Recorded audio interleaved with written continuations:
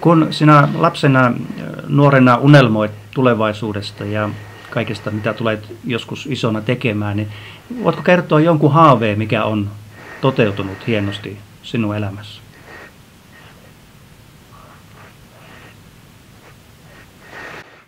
Mm.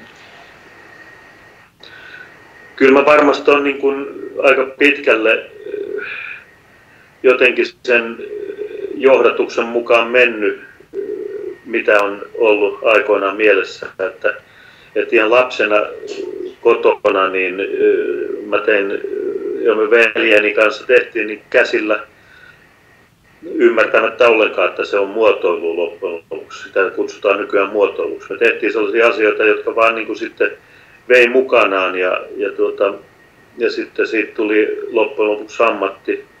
Ja, ja ei mulla ole niin kuin ollut hyvin nuoresta pitäen mitään vaihtoehtoa, koska mä oon aina niin kuin rakastanut tätä työtä ja halunnut tehdä sitä, niin se, se vaan on vienyt eteenpäin. Ja, ja, aina vaan tulee uusia kiinnostavia asioita. Huomaa, että ei vieläkään ole kaikkea lähimainkaan oppinut, eikä koskaan tuo oppimaan. Hyvä, kiitos kovasti. Kiitos Hannu Kähönen. Kiitos. Kiitos. Kiitos.